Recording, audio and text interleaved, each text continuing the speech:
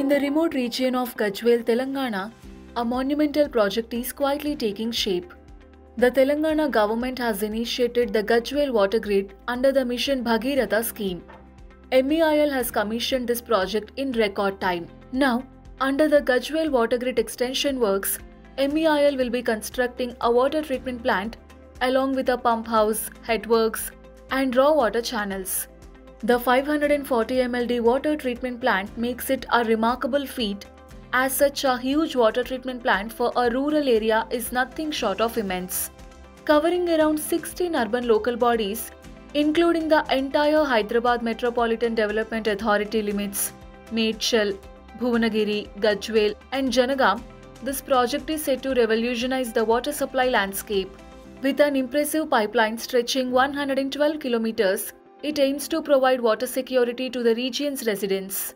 The most astonishing aspect is that the water will be treated at an elevation of 620 meters above sea level. There has been no such massive drinking water system in the entire Telangana. To turn this vision into reality, MEIL embarked on a journey of construction that would leave a lasting legacy.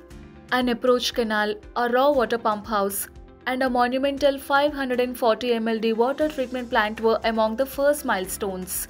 A 75 ml clear water reservoir, clear water pumping main, gravity main, 6 ml ground level balancing reservoir, and another 40 ml clean water reservoir soon followed. As of now, we have completed headworks, pump houses, raw water channels, and chambers. A successful trial run has further solidified the project's feasibility. This endeavour was not just a monumental construction project, it was a lifeline for the regions it aimed to serve.